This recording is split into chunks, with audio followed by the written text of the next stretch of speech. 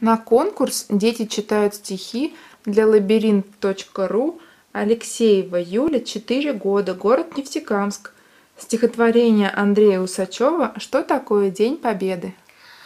Что такое День Победы? Это утренний парад. Едут танки и ракеты, марширует строй солдат. Что такое День Победы? Это праздничный салют. Фейерверк взлетает в небо, рассыпаясь там и тут.